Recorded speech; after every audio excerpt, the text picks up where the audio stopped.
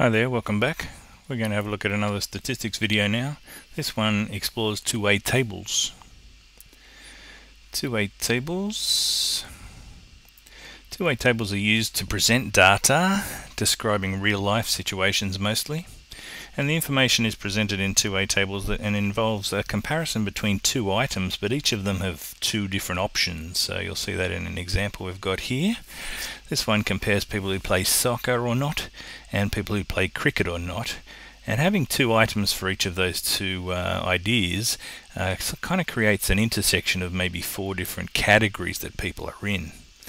So we have that uh, that idea there, and we have a certain number of people who fit those. I mean, we might do a survey of a school or a, sport, a, a, group of uh, young young people, and uh, we could ask them, uh, "Do you play soccer? Do you play cricket, or not?" Um, and these are the combinations in this particular survey, and the numbers will obviously be different depending on what uh, which people you ask.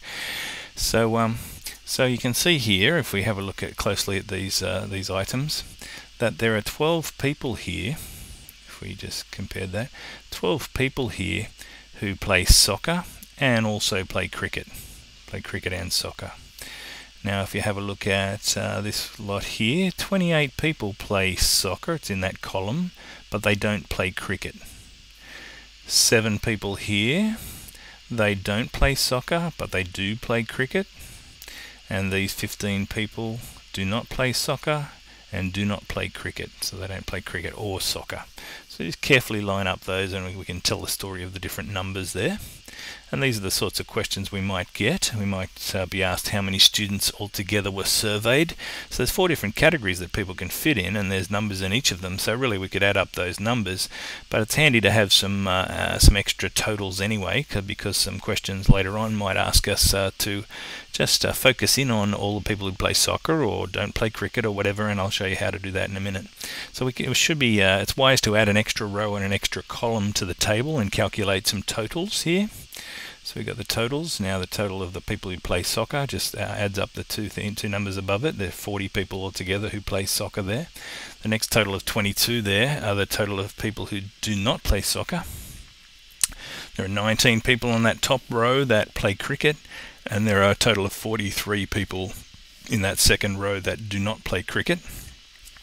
So whether you add up these two to get your number here, or add up these two, you should get the same number, otherwise uh, you're doing something wrong. so you get 62 altogether in this section here, and that's where we would look to answer a question uh, of how many students were surveyed altogether. 62 students surveyed altogether. So they're just some total uh, totals um, of the co columns and the rows there. That'll help us in our future questions as well. These are typical, the next part, uh, next sections are typical of questions you get in this in this topic. How many students play at least one sport? So if you have a think about it, um, this is the system we could use here, and our totals might be helpful. At least one sport will equal the total number of students minus the number of students who don't play either sport. So um, can you see the section where we they don't play either sport? I'll get you to have a look at that now. So at least one sport. Now the total students was the answer to the previous question. How many students were surveyed? 62. Uh, now, people who don't play either of these two sports, this is in the column of do not play soccer, and this is in the row do not play cricket. So you can see that that 15 is the number we're going to be using next. So we'll subtract that from the total, because everyone else plays at least one sport, if not two. Uh, so we get at least one sport of, the, of these two. Uh, 47 students play at least one of these two sports. Uh, now we could um, we could have also added these up. Uh, we did it by taking the total and taking away the category that didn't apply. We could also get the same answer by adding 12 and 7 and 28 and we'd get 47 as well. So there are two different ways we could answer that question. Alright, of the students who play cricket, now I'll show you this a special technique we're using for these types of questions. Of the students who play cricket, what fraction also play soccer? So it's not talking about all the students here, only a certain section of them, so let's be really careful with it. First thing to do is to circle the first mentioned idea because they're, they're the students that we're talking about in this the rest of this question. So of the students who play cricket, can you see which section is just dealing with the students who play cricket?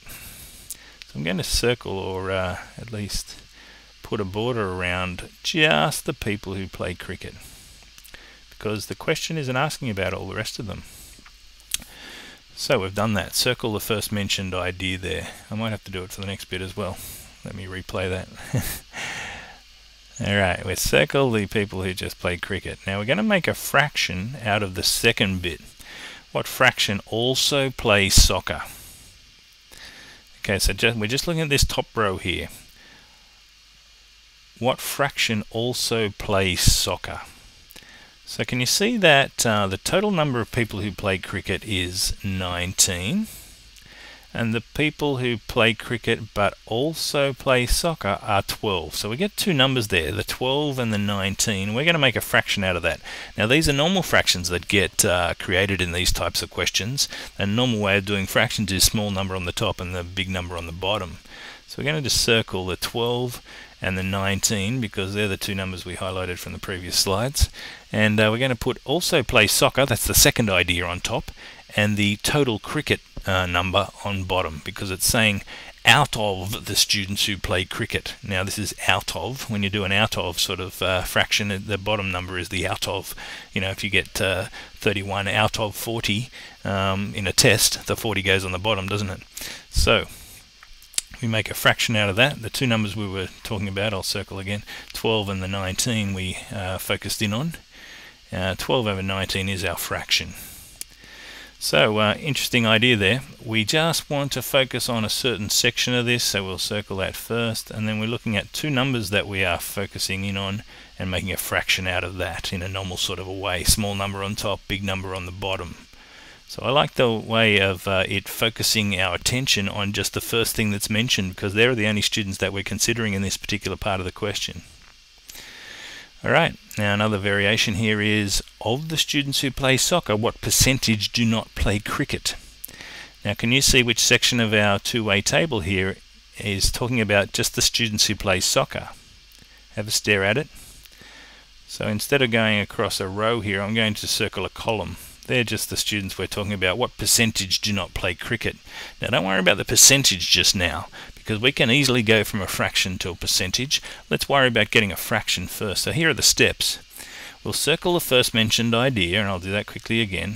First mentioned idea is out of the students who play soccer. So we're just talking about that first uh, column there.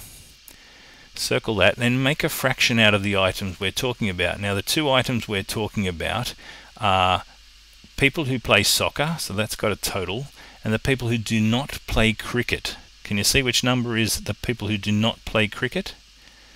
That's the 28 there. They play soccer, but they do not play cricket. So that's our number we're going to make a fraction out of. So we're going to, on the next slide, we're going to put uh, put that into a 28 over 40 situation, and we'll worry about turning that into a percentage after that.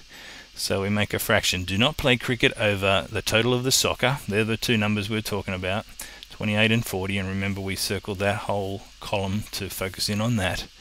So we've made a fraction. Now the question asks us to make a percent. So you'll remember from your earlier studies that to go from a fraction to a percent, we just multiply that by 100 and we turn that fraction into a percent. So of the students who play soccer, 70% of them do not play cricket. And we've answered the question quite nicely there. But uh, let me recap the steps here. Any, any one of these uh, trickier questions on two-way tables, best to circle the idea that they're talking about, the first idea, then have a look at the second idea, do not play cricket. We uh, want to get a pair of numbers there that will turn into a fraction. And uh, the rest of it works out quite nicely. So the good thing about two-way tables and the questions you get, they're very similar. Uh, so we just look very carefully for the items we're looking for, make a fraction out of it, and if we needed to, for us to get a percent, we'll just times it by 100. So I hope that helps. Uh, it can be tricky, but um, give yourself some time to absorb exactly what uh, the different numbers represent, the different categories they represent, and get some totals happening. That helped us in the question. And uh, draw all over the question paper if you get one in a in a test, because um, that helps uh, you to focus on just the numbers that you were asked about. All right, that's all about two-way tables. I hope that uh, is of some assistance for you, peterblakemaths.com, and I'll catch you next time for some more great maths videos. See you next time. Bye.